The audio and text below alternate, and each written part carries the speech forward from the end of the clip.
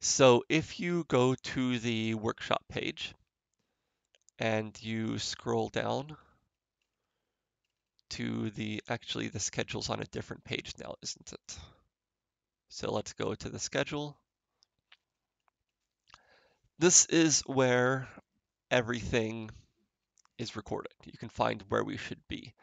Although HackMD is updated with the um, the current state of things. So we have a welcome and practical information here. So I will open this in a new tab.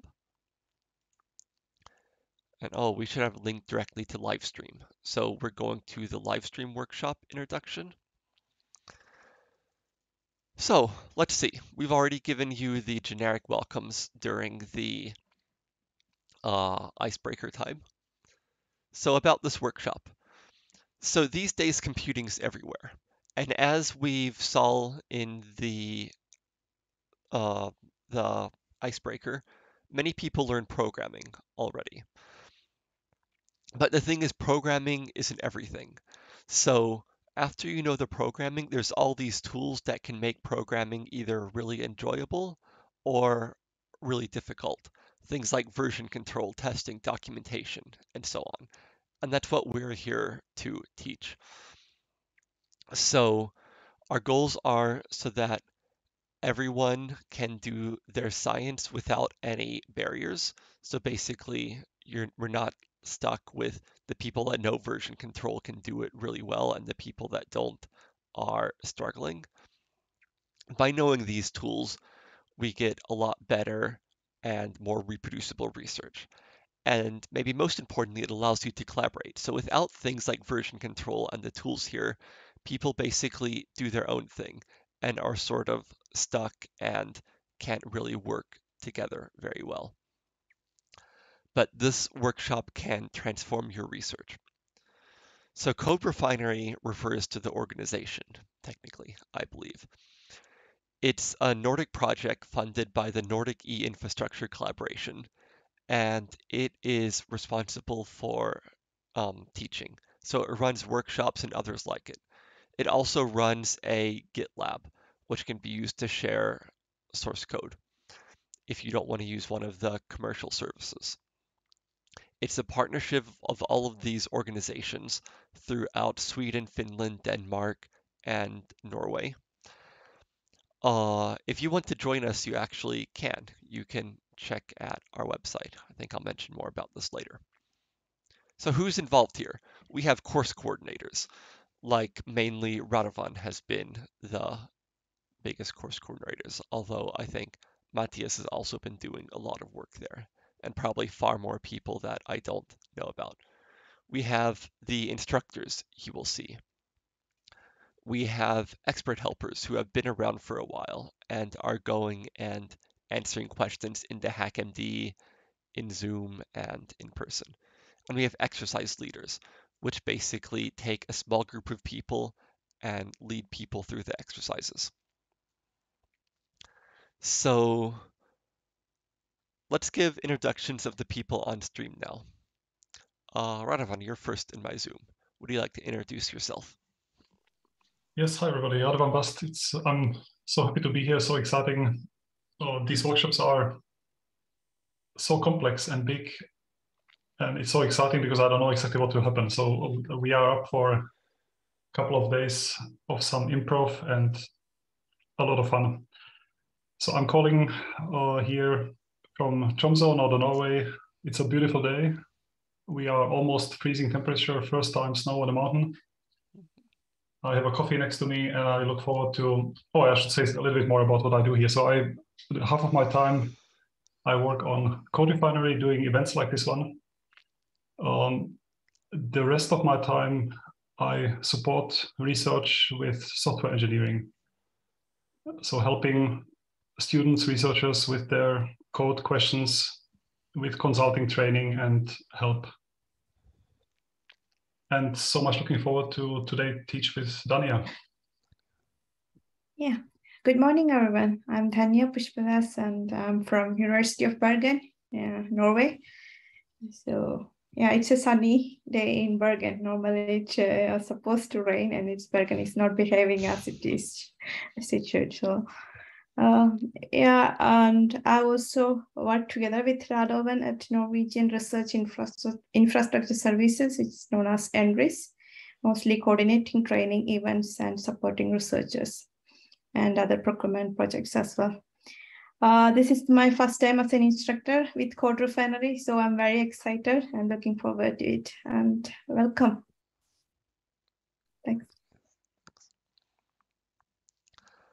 So I'm Richard Darst. For today, at least, I'm managing the streaming and stuff.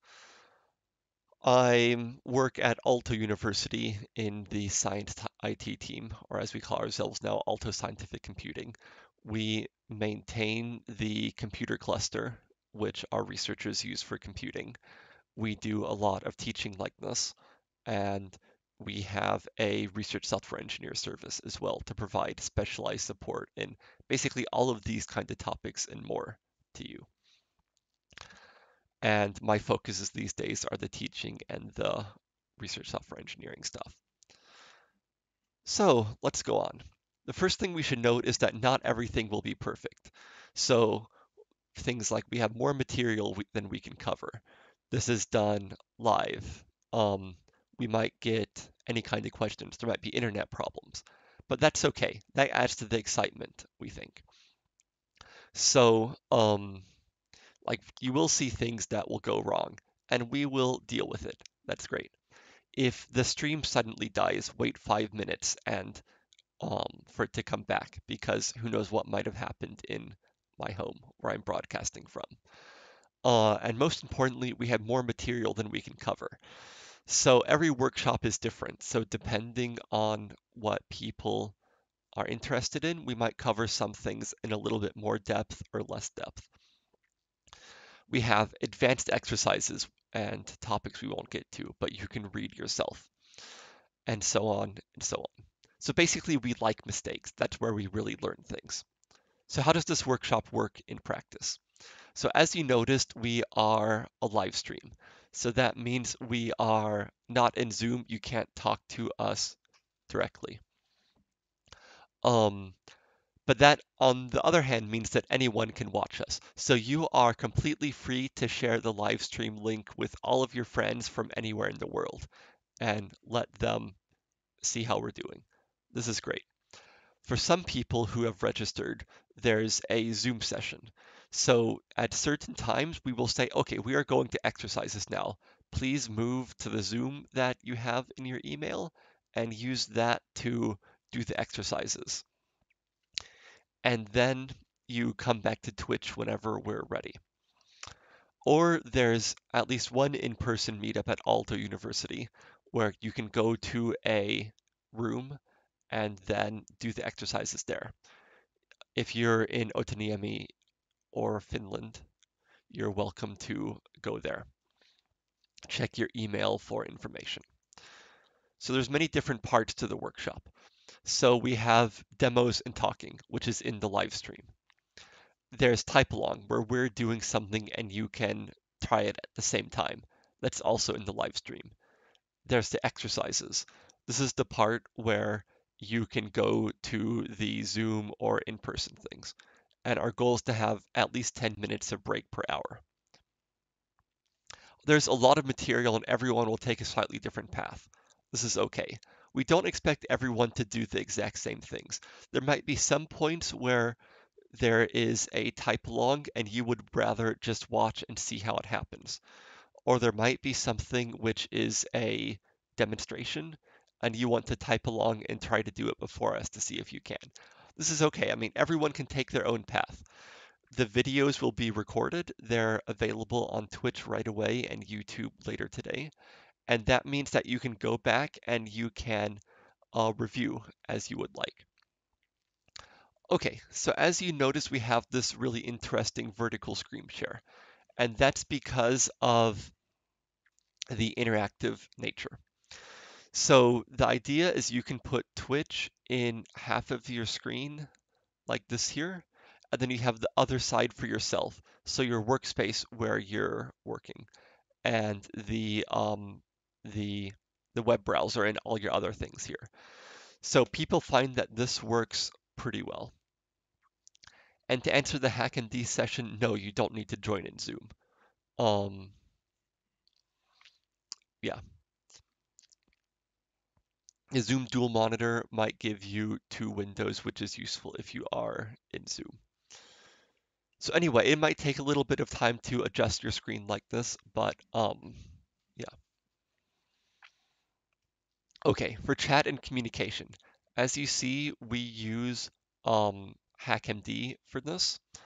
Um, the basic idea is you switch to edit mode and you ask questions in bullet points or numbers, and then you get answers in subpoints like this.